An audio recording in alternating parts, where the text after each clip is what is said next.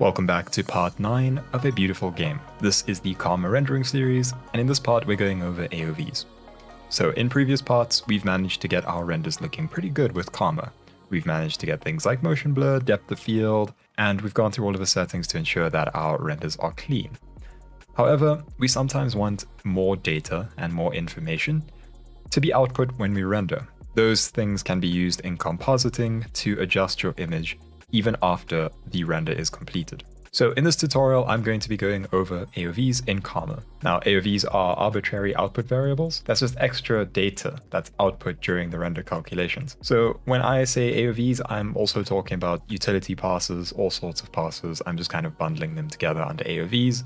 But to give you a better idea of what's included under this kind of umbrella term, I'm talking about so things like diffuse, specular, reflections. This also includes light passes, so individually separating out various light contributions from the scene, as well as all of the utility passes, such as cryptomattes, z-depth, and various other utility passes. I'm also going to be showing how to reconstruct a beauty pass using the various light passes that we can generate. So let's get into that. Right, so you can go ahead and open up p9 underscore aovs.hip. And when you open it up, you should see this a very familiar sight at this point, I imagine. We just have our Solaris view, we have a LopNet over here, and we can dive inside. So uh, don't pay attention to the board state of this chess game. Uh, this is very much not a possible board state, but moving all of the pieces around into a potential board state is kind of unnecessary for this. It's really just an example. So the reason I've set it up like this is because I want to show you a couple of things. So I have this piece up front and all of these extra pieces, right? We just have this camera over here with its focal plane set to the bishop. Over here, we have this Karma render node. So to start with, I'm going to go over to the image output tab over here. And by default, it should be on AOV render. And over here, you should see all of the various AOVs that you can generate. Now, you'll notice that it is split into these up here, and then the ray level outputs. So these are what are generally considered like utility passes. We're going to be focusing on these for the meantime. So as you can see, we get a beauty pass. That is what is output by default. Now, that over there, if we render to mplay, will just come out as what is known as the C plane. That is your beauty pass. So it's all of the BSDF components combined. And as you can see, this is what you have. So in the top left over here, if we just drop down this plane viewer, you can see that we only have C. Now C is our beauty pass, as I mentioned. So okay, that's all well and good, but we can't do much with that. So let's add some extra passes. Let's separate out our combined diffuse with our combined glossy reflection and our combined volume. So what this should give us is three extra passes or three extra planes. Now you may notice that I'm using combined diffuse and combined glossy. If we use direct diffuse, that is all of the light rays that are directly impacting a diffuse surface. Indirect would be any bounce light. So if any light bounces off the board and say hits the underside of this bishop, that would be a secondary indirect diffuse bounce. Same thing for glossy and the same thing for volume. We're just saying that we should combine the direct and indirect into a combined diffuse. So render to mplay, and you should be able to see that we now have more passes to work with. If we extend our planes now, we have combined diffuse, combined glossy reflection, and combined volume. If we take a look at combined volume, that is just the volume. So it separates it out for us and it mats out our bishop. If we look at our combined glossy reflection, you can see that this is what we have. These are only the reflections. And then we have our combined diffuse, right? So it's just the diffuse color without any reflections. So cool. That's one thing that we can do. We can separate it like that. And I'm just going to disable all of those because I want to show you LPE tags. So if we go to our beauty pass, right, we only have a beauty pass now. So back to just C, and then we say split per LPE tag. What this will do is it'll give us a plane per tagged light. Now a tagged light could be any light, right? So say we have three lights in the scene. One of them is a white light and two of them are like a blue light. Say we want those two blue lights to be in a separate pass called blue lights we could do that. And then the one white light could be in a pass called white lights. So let's go ahead and do that with the lights that we have. If we go over here to our ambient, cool, and warm light, you can see that under the Karma tab at the bottom over here, we have LPE tag. To enable it, just click on this little circle, say set or create. Now you can call this whatever you like, and it will come out as that pass. So you can call this something like ambient pass, right? And that's fine, that'll work. If you want two lights to be put into the same pass, just give them the same LPE tag. I find that one of the best ways to generate an LPE tag is just with a $OS because each light is going to have a unique name, and so each one will be output with a unique identifier. So in this case, we're just going to use $OS. That should give us a pass for just the ambient light. We can go to cool, Karma, LPE tag, set or create, $OS right? Same thing with warm. We just go over to Karma, down to the bottom, LPE tag, set or create, dollar $OS. And now if we go over here, because we have split per LPE tag on, when we render to mplay, you should see something kind of interesting. Right, so as you can see, we have this warm light on the side here and this cool light on the side. The only reason that I'm really setting the scene up in this way, it's not a great looking scene or anything, but I just wanted to have these various lights on all of these various components at different distances. So if we go to our planes now, you'll see that we have C, but we also have C underscore ambient, cool, and warm. Those are our three lights. So if we want to just look at our ambient light, we can click on ambient, and this is the contribution to the scene of our ambient light. You can also take a look at cool. That's all of the contribution that the cool light is giving. And we have warm over here. The cool thing is you can take all of those passes and put them back together to reconstruct the beauty pass by using the screen mode when compositing. The power in this is that you could change the color of this light to say purple and then composite it back together and all of a sudden you have control over that single light contribution. You could also perhaps decrease the intensity of the warm light. You can do all sorts of things like that. And so I'm just going to show you with a scene that I have. So I'm just going to go ahead and drop down a copnet. And in this copnet, I'm just going to go ahead and drop down a file node. The thing that I'm going to bring in is from the render path light underscore paths.exr. So I'm just going to bring that in and switch this to the image desktop. Going back over here, we have this, right? So over here, I have the same thing. I have the ambient light, I have the cool light, and I have the warm light. I just want to show you how to reconstruct a beauty pass. So we can reconstruct this by doing the following. So you would delete, and you would delete each plane individually. So we would choose which plane we want to delete. We'd say ambient and then delete non-scoped. So we would do that for all three. Over here, we would have C underscore cool, just like that, and then C underscore warm.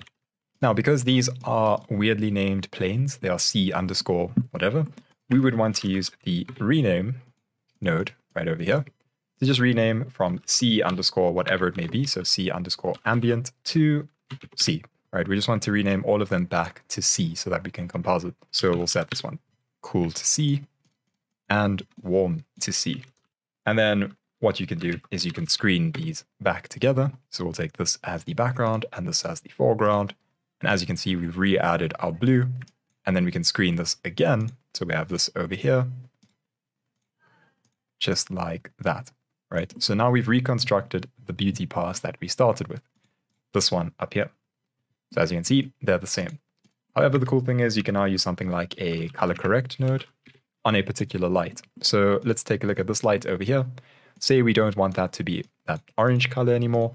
We can change that color to something like a green, right? So this is a pretty extreme example. But then when we screen it back together, you can see that that light contribution from that orange light is now green. So you can do all sorts of things by splitting up your light passes.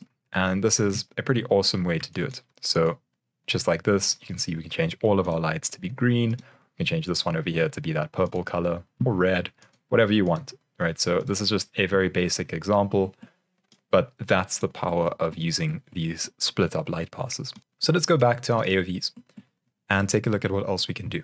So I'm just going to switch this back to the Solaris viewport. Now, if we go down to the bottom over here, all right, so we have our beauty and we're splitting per LPE tag, but if we keep going down, you'll notice that we have these ray level outputs.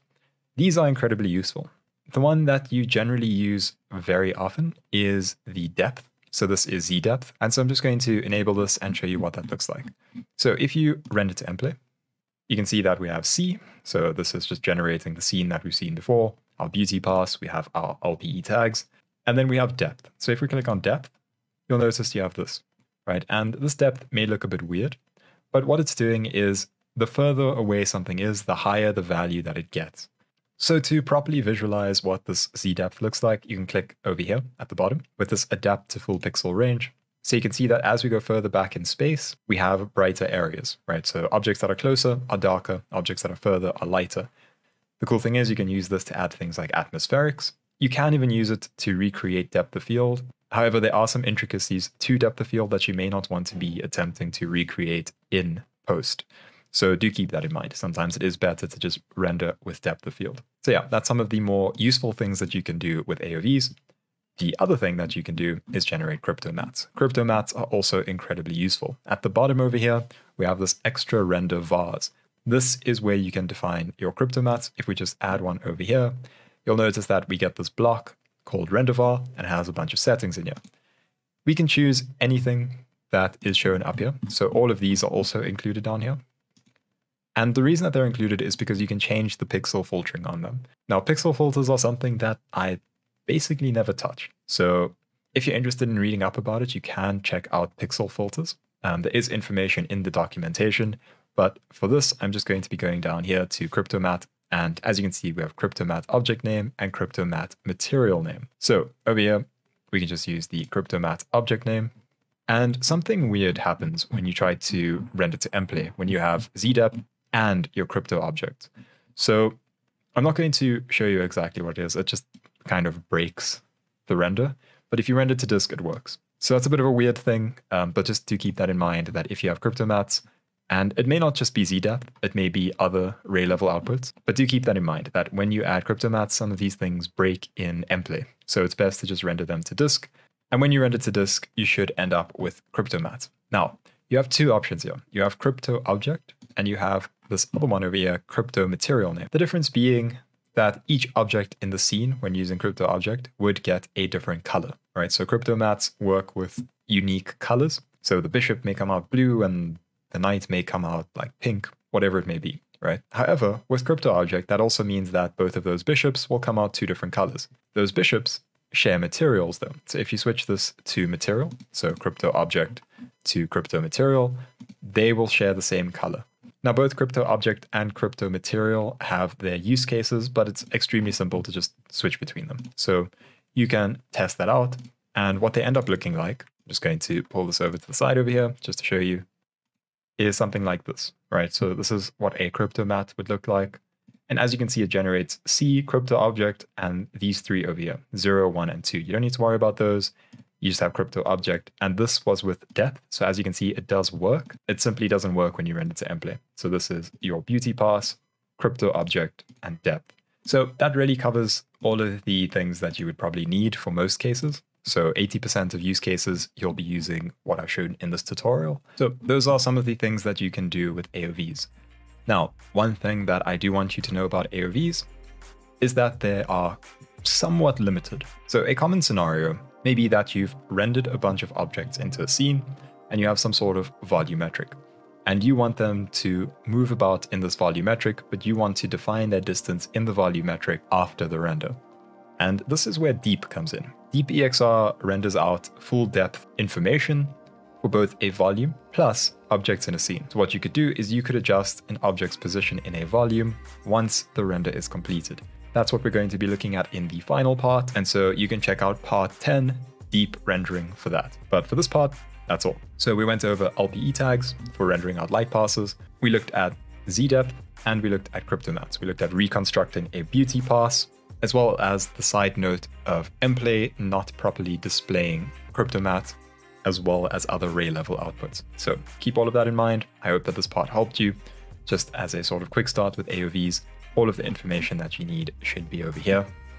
If you're interested in checking out more information on pixel filters, you can go to sidefx.com forward slash docs forward slash Houdini forward slash Solaris forward slash filters.html. Um, over there, you'll be able to find some extra information about filters and how they work, and that will give you even more control over your AOVs.